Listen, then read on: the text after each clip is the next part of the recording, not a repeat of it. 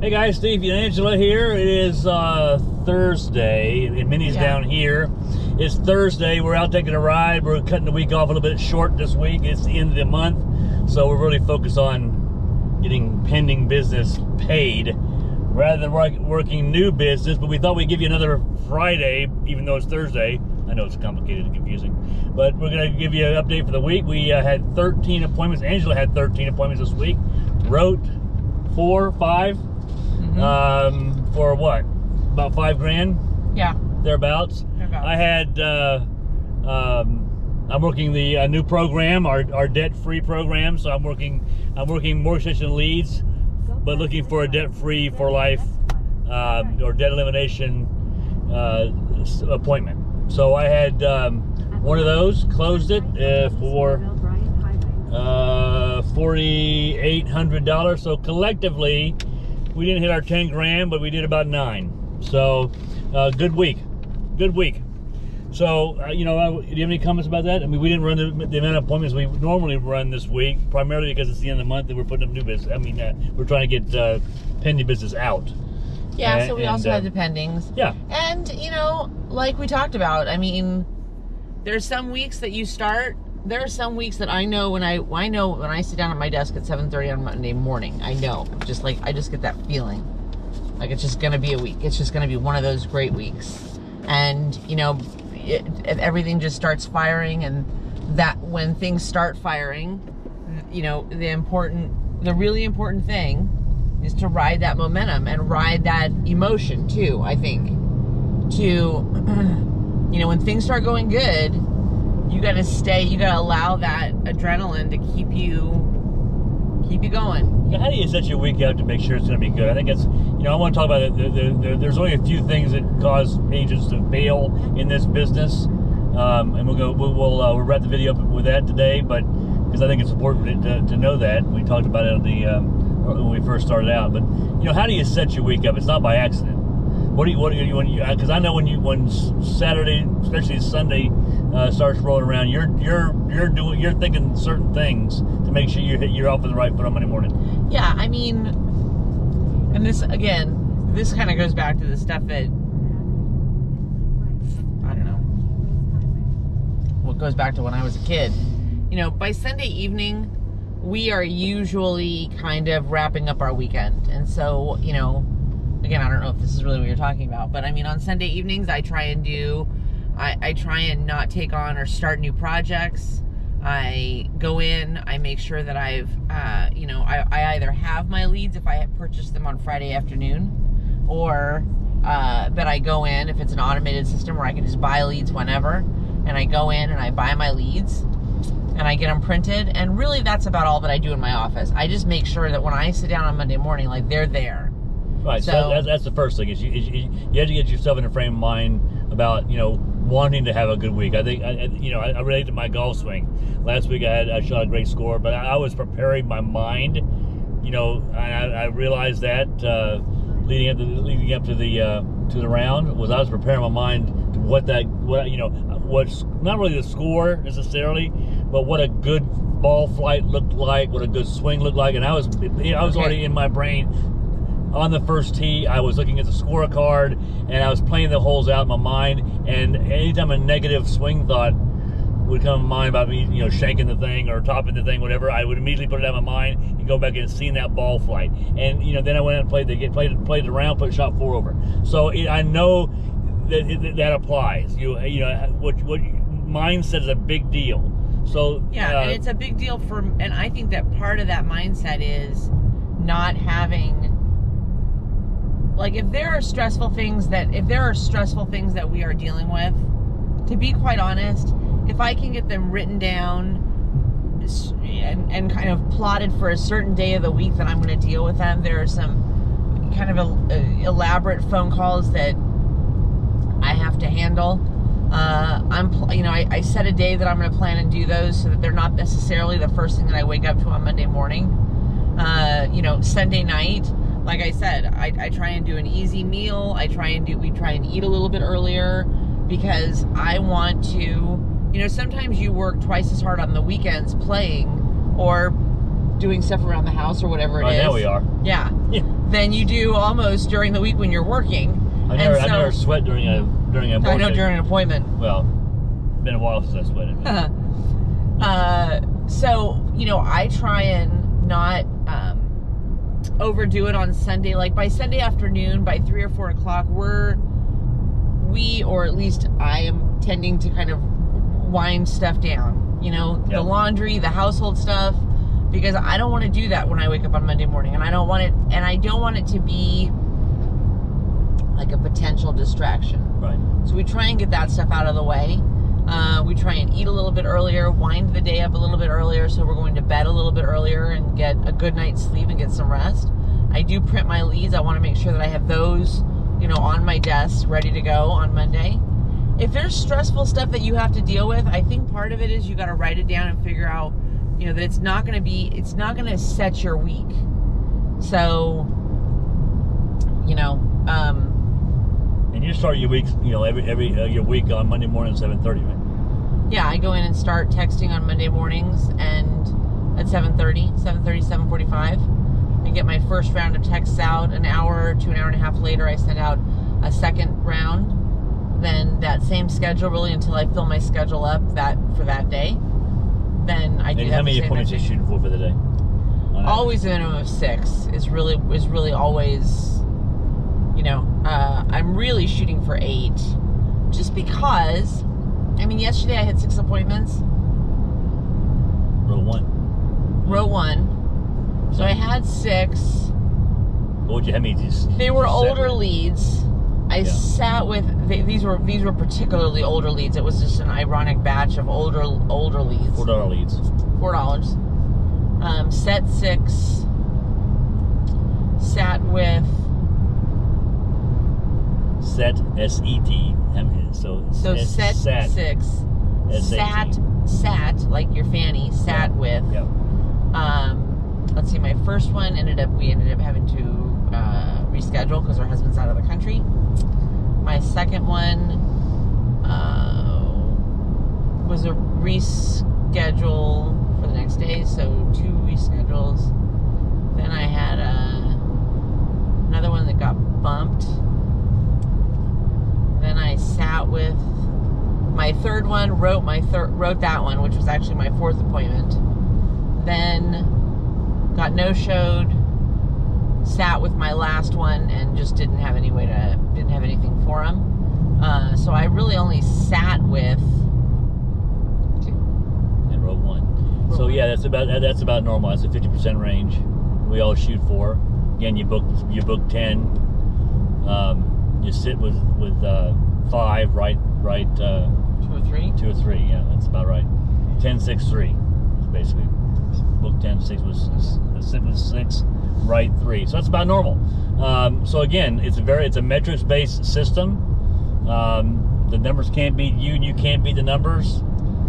People always ask, you know, well, you know, I don't want to buy leads. Okay, then go work your warm market. You'll never make a lot of money doing that. Um, and you know, it's it's not scalable um, unless you're very good at making friends and very good about talking to total strangers about life insurance, which is fine. I do that all the time. But again, you got to be very active. You got to be that little that butterfly in the room, kind of like a like a realtor. You go, you're buzzing around, talking to everybody, and introduce yourself. You got to be constantly working the room, networking events, church events, whatever, and to, to constantly have a new batch of people to talk to, uh, leads. Um, about life insurance, so you can do it, but it's but the reason why we do the leads is that it's it's uh, it's scalable. We knew a woman in California that was, in my opinion, not necessarily your favorite favorite person, but and not necessarily my favorite person either. I mean, we were somewhat friends, but she was, in my opinion, probably one of the masters at uh, like networking type events. She was. She must have done probably two to four networking events every single week, and she did use it she did use it it did aid her business. She uh, she she she was consistently writing business through that uh, in her business writing business in her you know through all that networking. Was it enough to sustain her if she no had she not been doing and utilizing other things and her husband had a very good job then no she probably would not have been able to support herself only on that networking business. But i say that to say this 20 years later, she is still she still does those events every single week. She my point is is that a lot of people they do them. They say, "Oh, I, I'm going to do um, chamber of commerce," and three weeks later they've stopped going, or they go they they go for a month, they don't write any business, or maybe they have a couple of appointments and then they quit it. You have to be whatever you're going to do. If you're going to stand on the side of the road with one of those spinner things, you you have to be consistent with it. You have to you have to dig in and say, if this is what I'm going to do, this is what I'm going to do. Well, that's that's true with anything. You know, it, uh, yeah. I mean, this is a very difficult business, in my opinion, to do spare time. Um, especially in the beginning. There's too many, there's too many moving parts. Yep. You gotta get good at, at uh, booking appointments, and and that takes uh, being consistent every in in the act of booking appointments. You can't sit down and make a couple of phone calls and then come back three hours later make a couple more phone calls. Or if you're doing texting, you, you, you gotta be you gotta you gotta have a routine and you gotta have a schedule. Uh, or or or that's why so many people fail in this business. Um, is is it is that they, they try to do it like it's a hobby, and that's fine. You want to do it like a hobby, it's going to pay you like a hobby. But the problem is, people get in this business, they they treat it they, they treat it like a hobby, but they want to get paid like a business, Right. And then they and then they, don't want to, they don't want to invest any money in it. No. They don't want to invest any time in it, but they want to make five grand a month. Yeah. Forget it. Go do something else. It doesn't work that way. Doesn't work that way. Do There- your job or your marriage that way. It- Yeah. You won't. It won't last. the insurance industry. I mean, people quit. Well, that's that's that's true of anything. Yeah. We live in a world where people are quitters. No one wants to stick with anything. No one wants to invest any time in anything. It's a microwave society. Everything has to be instant. And I want to I want to invest very little, uh, but I want to be uh, we I want to be I want to make millions. Doesn't work that way. There are uh, so let's get into it. There are there are th- in my opinion three reasons why agents fail. The first is we could probably add a few more to that, but the first one is lack of money Yeah. you gotta if you you know again I, this is a leads based sales opportunity you, you certainly you can do it without buying leads um, it depends on how much money you want to make from the business all businesses require an investment of both time and money hobbies do not No. if you're going to start a business, go see if you can start a McDonald's for free. It won't happen. Go see if you can start a McDonald's and open the door without buying any hamburger meat. Won't happen. That's a business. Many of you come this come into this game and you you want to treat it like it's like like like you're an employee, right? Like you know, and it doesn't work that way. So you got to have money to buy leads with. And you, I talked about it on the call. I don't have time to get into today. Is people twenty five dollar themselves to death Yep. you don't have enough leads on a $25 investment to create any kind of momentum at all. It's a law of large numbers that you can rely on. Yeah. They're consistent. And they'll always tell you the truth. The law of small numbers never will. And so you buy 25 here, okay, look, if you're buying $25 leads, you're probably buying older leads, aged leads that other agents have, have, had in the past. Uh, for example, RB leads are $6 a piece. They've been sold to one other agent.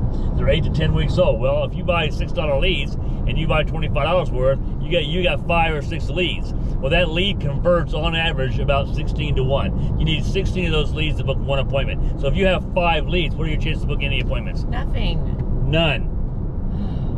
Zero. So frustrating. And say, oh my God, Angela and Steve, the business doesn't work because Yes, yeah. you know I I, I, got, I I bought leads and I didn't get any appointments. Right, but you didn't buy. You didn't really buy leads. You didn't really follow. You spent twenty five bucks. You and, didn't, and yeah. well, you didn't follow our system. Our system is you got to spend a minimum two fifty. You should get yourself to five hundred dollars a week, depending on how much you want to make in the business. Okay, if you want to make you know ten thousand bucks a year, okay, you don't need to spend five dollars a week. But if you want to make six figures, you need to get yourself to five dollars a week. Most of us are spending five to eight. Okay, And if you want to replace your job, Yeah. you can't do it that way either. Good point. So you gotta have Oh. money, right? And, and you can't do twenty five dollars on Monday, twenty five dollars on Tuesday. Get yourself two hundred fifty dollars worth of leads and, and get and go to work, right? You have some skin in the game. Your chances of success will be far greater. The second thing is number two, lack of activity. Kind of goes back to what Angela was talking about. She has a precise schedule that she works Monday through Thursday, um, and sometimes on Friday if we don't hit our goals. She gets she's up at 7:30. She's she's booking appointments every hour and a half. She's she's reconnecting with that same lead three times a day to get her six to eight. That is activity.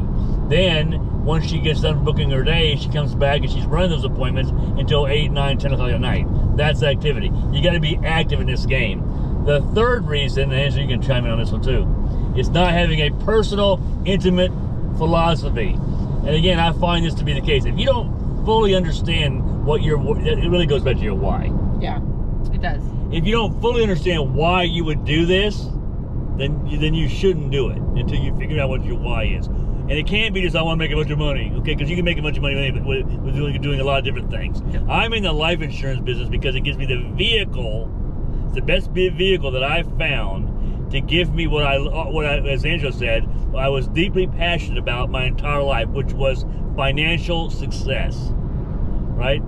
To be to, to be able to own my own income, thereby own my own life, and be able to have true residual and passive income. The insurance in vehicle was the best vehicle for me for that.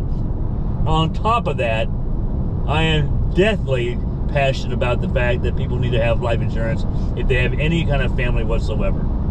So that they, they, they're passing that, that off to their families. Those are three, three reasons. Lack of money, lack of activity, and not having a personal, intimate philosophy or a solid, burning desire and why you would you would even do this business. Because look, it's not easy. It's not it's not an easy business. It's a very prosperous business. You make a lot of money here, and you know, and do it in two or three days a week. But it's not easy. If you're looking for the easy train, save you money. Don't get your license. Go do something else. Save your 25 bucks and go buy you a scratch off ticket. Yeah, go buy your play. I'm play, sorry, play but game. that's but that's really Buy you a, that, that's the name of that's my thumbnail. Go buy you a scratch off. go buy you a scratch off. because that's really what you are.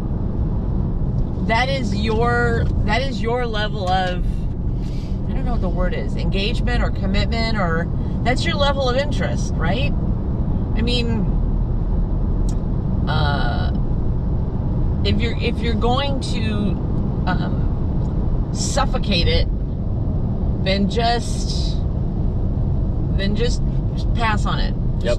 Just, move on Yep. and I hate to say that, but we see so many agents that come here and they say, I'm, I'm in this to win. And then we say, okay, you've gone through the training, you've got your license, you've gone through our training, uh, you've, um, you know, you've set up your computer, blah, blah, blah, whatever, and you've done your contracting, and let's go ahead and buy some leads. And they say, oh, okay, uh, yeah, absolutely. And then a week will go by and we see no lead orders. And then all of a sudden a lead order will pop up from a person and it's fifty dollars. You've you're not putting the investment where it needs to be. Take the time to really figure out if this is something if you're that you're passionate about. Yeah. You understand what you're going to gain because again, if you don't understand why you would do this, you know, and it and it and it, and it connects to your to your to your to what your goals are for your life. Like for my for me, like I said, I wanted to be able to own my life financially. I, I want whatever I did today. I want to get you know, I want to get paid on for the rest of my life. You know, so that's that's that residual passive type income. Uh, so I knew there wasn't anything else better than this. Figure that out before you get involved, before you get your license. If it's something you really want to do, then you got to find a, a coach or mentor that ha- that is doing the business, that's putting their name on applications, that can teach you how to do this business. Angela's a Diamond Elite producer. Uh, I've been doing this for 40 plus years. We have a great, great, great, great system that we that we teach our agents how to succeed in this business, both virtually and face to face. That's far more important than the IMO, is because those are the people you're going to interact with every single day. Those are the three agents. There's probably the three reasons why agents fail. There's probably more, but hey, activity, lack of money, and not having a personal why that's deep, root, deeply rooted is about as good as it gets. Okay, guys, that's it for the week. Hey, listen, uh, we, we don't say this often enough, but we really appreciate all of you uh, that subscribe to the channel, that like the videos, that make comments. Uh, blessed to be able to do this. We enjoy doing it and sharing our week with you and our rants. Especially the rants. Yeah, we're good at the rants. Have a good weekend. See you later, guys. Bye bye now.